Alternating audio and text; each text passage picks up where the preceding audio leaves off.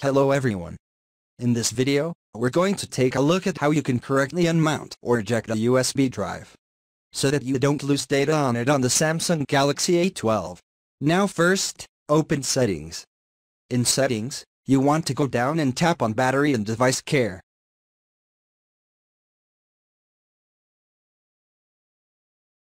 Then tap on Storage.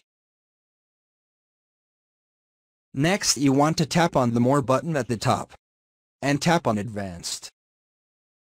In Advance, you want to tap on the USB drive that you are using. And then tap on Unmount.